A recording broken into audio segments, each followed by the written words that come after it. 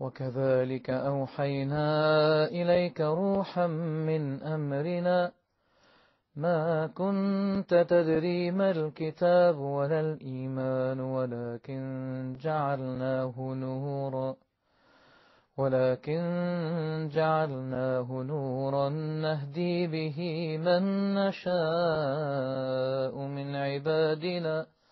وإنك لتهدي إلى صراط مستقيم. صراط الله الذي له ما في السماوات وما في الأرض. ألا إلى الله تصير الأمور. السلام عليكم As you can see, Sheikh, uh, two new people here today.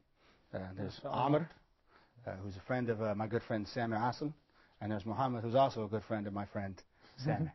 and I just met them uh, about a week ago. I And think a they're- friend of my friend is my friend. Yes, exactly. An enemy of my enemy is my friend. That's my friend. so they, they know uh, that we're, we've been doing these little sessions on, on marriage. And, uh Muhammad has signed the contract, but uh, that, that's it. That's as far as he's gone. And Amr is uh, married with a, with a child, correct? MashaAllah. Yeah. Well, Muhammad, we wish you the best, inshallah. Inshallah in a couple of months inshallah. Inshallah. We've been talking actually about marriage and about you know the rights of both um, the husband and the wife and so on. And I- I really wanted to talk about you know uh, the real happiness. Uh, a lot of people uh, expect marriage life is always happy, no no downs, always ups, which is not true. The eternal and the absolute happiness can be only found in one place, in paradise, not on earth Yeah, that's true. problems occurred uh, during the life of the Prophet ﷺ with his wives at his house. So it's very possible to happen amongst ourselves. Completely possible. Exactly. so a person should keep in mind that you know problems would happen and have to be prepared as how to handle them. You know, Sa'id ibn al-Musayyib, one of the great tabi'een, had a very uh, righteous daughter, mashallah. Once she had finished the entire Quran, and she came to, to inquire about an ayah في Surah Al-Baqarah. The ayah says, رَبَّنَا آتِنَا فِي الدُّنْيا حَسَنَةً وَفِي الْآخِرَةِ حَسَنَةً وَقِنَا عَذَابَ النَّارِ Which reads in English as, the meaning of this ayah, Our Lord, grant us a goodly reward in this life, and a goodly reward in the hereafter, and protect us from the fire of hell. Ameen. Allahumma ameen. Ameen. As a matter of fact, this is one of the best applications ever. So uh, she said, Father, I perfectly understand what is the goodly reward of the hereafter, which is paradise. Yeah. But uh, what about the goodly reward of this dunya? Righteous one. Uh, exactly. People vary. Some people think that uh, the goodly reward is to have a luxurious life, to have a house, to have, you know. So Sa'id ibn al-Musayyib, may Allah be pleased with him, said that the goodly reward of this life is the good wife, is to have a righteous one. Mm-hmm. The Prophet ﷺ said, Ya Ismail, may Allah have mercy on a man who wakes up at night to pray two rak'ahs. Then he awakens his wife. And if she's so sleepy, he will sprinkle some water on her face to get up and join him. And may Allah have mercy on a woman who gets up at night to pray. And she awakens her husband. And if he's so sleepy, she would sprinkle some water on his face so that they will get up and pray together. How beautiful is it to share those This beautiful, is, this is the opposite moments? is my case. My wife throws some water in my face to wake me up. Five more minutes, and then she comes and she hits me up. Keep in mind that, you know, uh, especially the man, when you come back from work and you're extremely tired and so on, that uh, as the Prophet ﷺ has said, that uh, Satan ties three knots on the back of each one of us, saying that, yeah, you have a long night, go back to sleep. So when you get up and you say, Alhamdulillah alladhi ahyana, praise be to Allah who revived us from death, uh, and unto Him is the resurrection. You praise Allah subhanahu wa ta'ala, you remember Him. Uh, one of the knots will be undone. Then when you go and make wudu, the second one. And the third one, when you offer the prayer, then you will be fresh and active. You know, the Prophet ﷺ has said that if a man and his wife get up at night and offer two rak'ahs, only two rak'ahs as minimum, the Prophet ﷺ said that they will be written that night amongst those who remember Allah subhanahu wa ta'ala much, amongst الذاكرين الله كثيرا والذاكرات. Oh Allah, make us amongst them. I mean, So those beautiful moments when you share with your life mate, how excellent. what could be better than that? In my opinion, that is the real happiness. Hmm. happiness is, is you'll find out. Huh? Mm-hmm. happiness with your wife is something that, that kind of comes and goes sometimes. I mean, it depends on like, I mean, sometimes there's not enough bread, sometimes there's not enough of this, and there's issues that come along. But if you can achieve that kind of happiness, where it's a religious happiness, then, then we all should be cool with our wives. You know, to, to achieve what you're talking about, ya Ismail, and you and your spouse have the same kind of understanding, uh, you have to inquire an adequate religious knowledge. Sayyida Aisha, may Allah be pleased with her, admired the women of Al-Ansar saying, Rahim Allahu Nisa Al-Ansar. May Allah have mercy on the women of Al-Ansar, the supporters who received the immigrants from Mecca to Al-Medina. Why? What did they used to do? Very special. She said that their shyness did not stop them nor prevent them from seeking the religious knowledge. They would come to the Prophet ﷺ and inquire about very, very touchy things, but they wanted to know. Uh, by acquiring this, that would give you enough ammunition to live a happy life in the light of the Quran and the Sunnah. I think nowadays, uh, you might, you know, agree with me or not, Omar, uh, Amr- Amr, but there's a lot of people who are too shy to uh, to ask about these kind of things to make sure they can have a happy marriage, you know. But they were asked to the Prophet sallallahu the things that were brought to him. If you said it now in front of people, people would be very shy. They'd be like, "Oh, I can't believe you asked that. Why on earth did you ask me this?" But they were asked to the Prophet, so it's a good thing for us to to make sure that we ask these kind of things. And Remember, Ismail, the very first time we met, when we started talking about marriage, we said the Prophet ﷺ proposed for us the best choice when he said that, فَظْفَرْ بِذَاتِ الدِّينِ so, choose the one who's righteous, who have religious commitment, or otherwise you would lose. You know, that really helps because she's the one who lasts.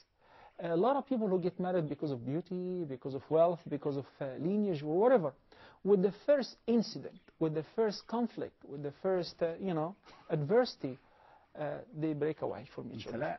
And she leaves him. Why? Because she married him because he was rich, or he had a very high position, or handsome, or whatever. You know, Sayyida Khadija, may Allah be pleased with her, with her uh, once the Nabi sallallahu alaihi wasallam received the first revelation, and he came shivering and said, Zammiluni, Zammiluni, cover me, cover me. And he was very, very scared because he had seen an angel, something which I have never seen before, nor even dreamt of. So as Sayyida Khadija, during this very, very uh, difficult time, she tried to calm him down and comfort him, saying, By Allah, Allah will never disgrace you. Why are you worried? By Allah, you are the one who uh, upholds the ties of kinship.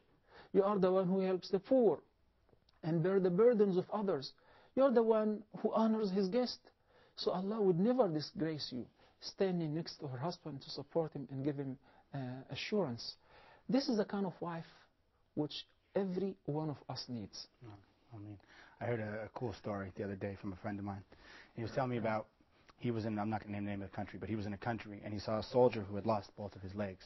And he said, uh, "So how in, how's it going with you? How are things going?" He said, "Well, everything's fine, but my wife left me when I came back. She said, "You're not a man anymore because you don't have this part of your body." So he remembered when he was a kid growing up in another country that was actually invaded by this country, that one of the the fighters went and he lost both of his legs. And when he came back, he got to marry the most beautiful woman in the village who took care of him uh, because there was a difference in what they were fighting for and what the what the what the differences in culture Yeah, were. yeah. He wanted they needed a wife that could take care of him and could be a righteous wife for him. Where in the other part of the world, they didn't care about this. He was no longer his wife they married him because of, of his looks and his strength. Yeah. And when he lost his looks and his strength, she wanted nothing to do with Yeah. him. And you're talking about the importance of uh, searching for a righteous woman. What about the other qualities? Beauty, lineage, and yeah. I can overlook them? Or, or I remember saying that, well, if you can get all of that, you're the luckiest person. There you the But you know, unfortunately, no one is perfect. None of us is perfect. So do not expect to find one who has everything, or otherwise you will keep waiting until, inshallah, you get married for Madhurul Eid. You'll be married when you're paradise. 70, 80 years old. You have to accept the fact that uh, everyone, every human being is born with some shortcomings. So, Except for me. Allah, for shortcomings. yeah, some I have. Yeah. yeah. Uh, the thing that, that I think is cool about the way Islam marriages happen, Islamic marriages happen, is that you don't you don't know each other. Like when I met my wife, I met her and I was married to her a week later, which I always thought was kind of cool. I wasn't this long like romantic thing. You know, it was like now you have to live together. Now you have to find out who this person really is. Because all this, you know, in, a, in the in, in the West we have dating and we have, you know, you maybe live with them for five, six, seven, ten years before you marry them. But in Islam, you just you just get married, and all of a sudden you're thrown in to live with somebody. So now you have a whole new way of how is this happiness going to happen? Do I know this person? I don't know this person. So you have to find what true happiness is, which is only in the Deen, only to find it through, through the religion of Allah. You allow me, Ismail, uh, I know that's your house, but I would like to uh, uh, make a case here. Muhammad uh, Am, how long you been married? Uh, since 16 months. MashaAllah, you're fairly new. Uh, whenever you have problems at work or in the street, where you cannot do anything and you're full of anger, then uh, how do you feel? What are you looking for? And I'm expecting uh, to have, um, you may say it, peace of mind at home. What is the thing that relieves your anger and removes your burden? Is it yelling at somebody, kicking somebody in the shin, stepping on a puppy? Yes, sure. what about going home and sharing your problem with your wife? Uh, Yes. having a good listener to your problem and maybe suggesting to you uh, a solution or This giving you so a good I advice of being patient yes. or reminding you to ask Allah for forgiveness Even or Muhammad Sallallahu Alaihi Wasallam used to ask his wives for advice, like the case of Umm Salam. Isn't salatu? Some some say that uh, you're not you're, you can't go home with your problems. Once you get in, in your home, you have to yeah, to to remove your, your problems. Yeah. In fact, this is not really true. Hmm. The fact is that, that one is waiting for the moment that he would come home and unload and drop his loads of worries and frustrations, share with his best advisor. Hmm. You know, the Prophet ﷺ said that the, the example of this ummah, the ummah of Prophet Muhammad ﷺ, this nation is like one single unit, one single body. Whenever any organ or a part of this body uh, um, aims or complains, feels a pain, the entire body is aching with pain. What about a man and his wife, a wife and her husband, sharing and feeling the same? Sayyida Aisha, may Allah be pleased with her, she was sharing with Urwa ibn Zubair ibn al-Awwam uh, an amazing story. She said that, that a month would pass by, and another month would pass by, and none of the uh, houses of the Prophet ﷺ would kindle fire. And this is, you know, figure of speech metaphor indicating that, that they would not even cook for two consecutive months. No cooked food whatsoever. But they were happy. Why? Because they were living with the Prophet ﷺ. Having a wife who's ready to uh, go through adversities and hardships and support her husband, man, that is the best thing you can get in this life. And believe me, your wife's going to come at you about her bad day. and she's going to want you to listen to what she has to say. Yes, but let me ask a question here, please. Um, we spoke about um, the righteous woman, the righteous girl. How can I define, how can I know, how can I define this righteousness? Well, I would be very happy to discuss this with you and answer your question, but Ismail is very meticulous about time. So I think uh, he's giving us a break right now. Mm, Okay. I guess I will. I have to go make wudu anyway, inshallah. Inshallah. So I'll go do that, and you guys can can talk about this when I come back. inshallah. Inshallah.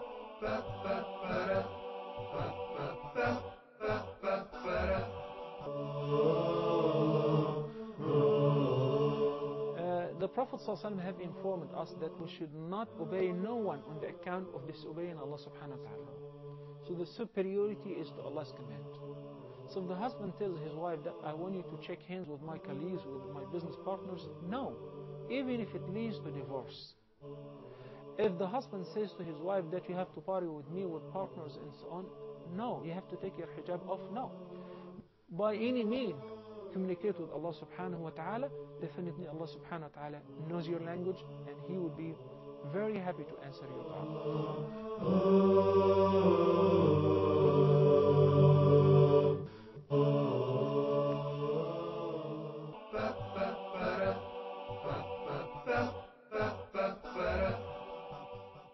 Okay, I'm back. You can answer this question. I know I owe Amr an answer for his question. Uh, even though we have talked about that before, Yam, but um, I think it is very, very important to reiterate that. You know, once Prophet Ibrahim, peace be upon him, came to visit uh, his son Ismail. Prophet Abraham was in uh, Jerusalem, and uh, he, of course, you know that he left his son in, in Mecca when it was just a desert. Yes. So when he came to visit him, Ismail, mashallah, had grown up and he was already married. But he missed him. He wasn't there. So he noticed that Ismail had been married. So he talked to his wife about their life and uh, how does she feel about it. She said, miserable. She said, uh, how do you feel about it? She said, we're experiencing poverty, adversity, and hardship. Everything is terrible. He said, well, if this is the case, then when Ismail comes back, give him my greeting and tell him that Ibrahim says, Change atabata. Change your doorstep. Change your doorstep. Yes. So she didn't understand, obviously. And she was ungrateful wife. When Ismail came from his hunting journey, uh, Ibrahim had left. And he sensed uh, the fragrance of his father. He said, was there anybody here? She said, Naam, yes, an old man. And he said, uh, what did he tell you? She said, she, he kept asking me about our life and how do I feel about it. And of course I told him that we are having a miserable life. It's very dry, we're experiencing poverty and so on. He said, so what did he tell you? He said, he, uh, he mentioned something which I didn't understand. He said, change your doorstep. He said, well, the man who's here is my father. And his advice to me is to divorce you because you are ungrateful woman. Then later on, Ibrahim alayhi salam came to visit once again, and once again he missed Ismail. He was in home. Ismail had divorced his old wife and he got married to a newer one. Uh, Ibrahim had the same chat with the new wife and said, how's your life? She said, it's best. We couldn't thank Allah uh, enough. We're having everything. We're experiencing luxury and, and etc. So Ibrahim was very happy. And uh, he gave Ismail salam and he said, convey this message to him. Tell him that to uh, keep firm your doorstep. ثبت عتبة بابك. As Ismail came back, he noticed that the same fragrance was here, and he asked his wife, she said that he came and he said such and such. He said, that was my father, and he said, keep your wife. She's a good, righteous wife. Well, we're not waiting to get married first, then figure out whether she's righteous or not. Um, Having a girl who's born and raised in a righteous family, having righteous parents, pious ones, a girl who's uh, religiously committed, she's wearing a proper hijab, uh, she behaves outside as inside. Uh, hearing references from here and there is very, very important. Uh, the opposite of what most or many of the youth think that if she looks pretty, uh, that's it. This That's is all what I want. If her father is a manager or a president of this job or that business, that's it. So when you focus on any of the worldly things, this is what you get. When you focus on uh, what Allah and His Messenger وسلم, recommended for you most, which is righteousness and piety, you get everything. I'm gonna I'm gonna change the subject because that's the kind of fool I am. I just roll in. I just I do what I want because it's my house and I do what I want. But uh, since we're talking about the righteous wife and getting married and everything, now most men have desires. They have you Yes, know sure. things they want to do with women. Now, what is the?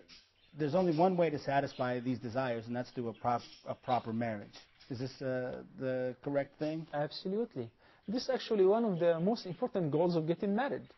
You know, the Prophet ﷺ addressed the youth who are at the marriageable age saying that, Ya ma'shar al-shabab, O young men, whoever amongst you is capable to get married, let him get married.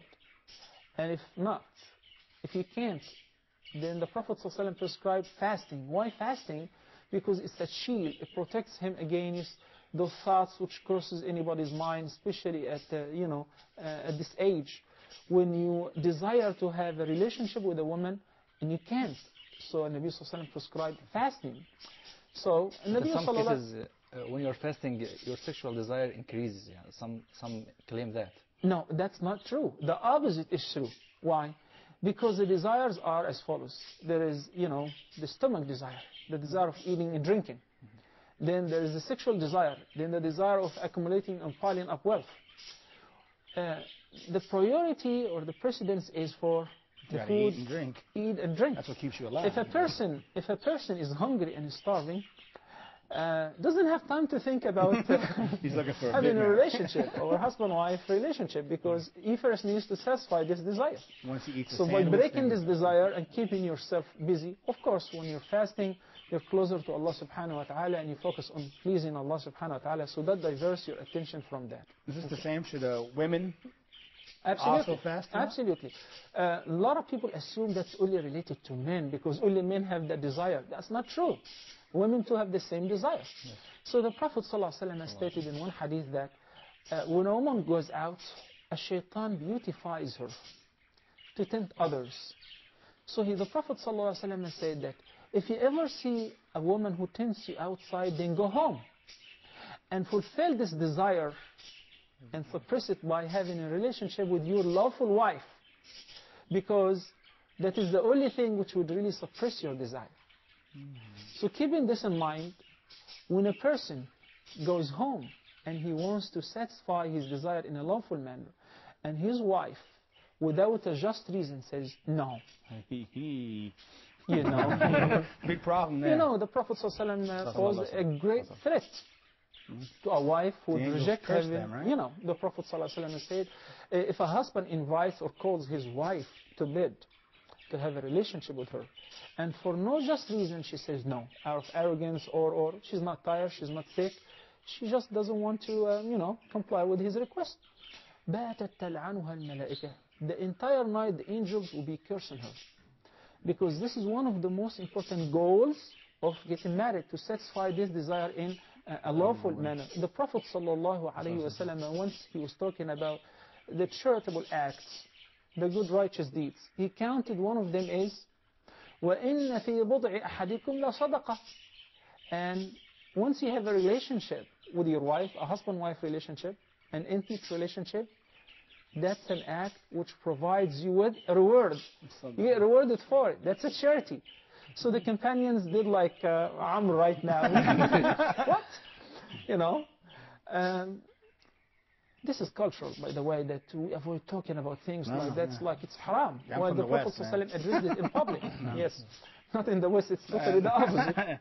this is tame. So uh, the companions were astonished. They said, Ya Rasulullah, would one of us have a sexual relationship and he will be rewarded for that?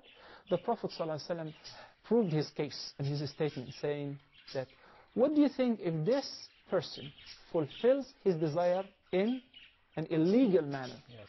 in adultery, with a wife who's not lawful for him, with, with a lady or a woman who's not his wife? People start looking for rocks. So,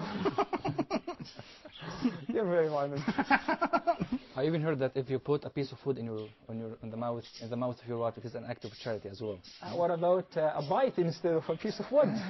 you know, when you feed, when you feed your you wife, close. When you feed, when you close your wife, when you spend house. anything, house the over best spending you spend is the, the, the dirham, the dollar, the money which you spend on your household and on your family members. So I said, what do you think if he does it in haram? Will he deserve to be punished? He said, definitely. He said, similarly, if he avoids the haram and fulfills his desire in a legitimate and a halal mm. manner, Deserves to he be should be rewarded. rewarded for that. But what about the opposite case? What if the wife asks her husband to fulfill her desires and he, he, He may says be no. tired, he may be sick, he may refuse? This is very smart, especially coming from a man. This is very, very important. You're a caring Uh, man. yes. uh, a man should understand that they both have rights and they both have desires. So when, uh, you know, a man should not really wait for his wife to ask for it. Because coming from a, a lady is kind of very difficult, especially, you know, uh, the Eastern culture. So a man should understand his responsibilities and duties towards his wife as well. Not only when he feels that uh, that he needs to, no. but maybe he feels And he I, I'm sure we'll come to the point where we cover this all in details, inshallah. Inshallah. I want to go back to the story you mentioned at the beginning of the segment, uh, the story of Abraham and Ishmael. Uh, what if Allah has, is giving me an ungrateful wife who causes trouble? I'm, I'm instructed to divorce her, or can I bear and I'll get the reward? Why would you divorce her? because she causes me problem and is ungrateful. No, this story, number one, it happened with the uh, Sayyiduna Ibrahim alayhi salam. Two prophets of having Allah. yes, having the advice coming from one of the greatest prophets to another great prophet is different than having an advice from me to you. and uh, if you really make the right choice beforehand, you will not have to end up uh, filing for a divorce. Uh, this story, though, I have a friend who's looking for a second wife. So I told him, I said, man, you got to go, and the first thing you have to do is find someone who's going to be grateful for to you. You know, go to the the village and find someone who has nothing. So whatever you give her, she's happy with, because you assure yourself to have a grateful wife who's always going to be very happy with anything you provide for her. If you marry a very rich woman, then it's hard to make her grateful because she has everything. But if you marry a woman who's maybe a little poorer than you, then anything you give her is a great thing. Yes. And she's always grateful to her husband. Yeah. Which is a pretty good thing. So, just a quick reminder: uh, uh, if any of you, if any of us is looking for ultimate happiness, uh, that really does not exist on earth. You know, ultimate happiness is uh, promised to have it, inshallah, in paradise.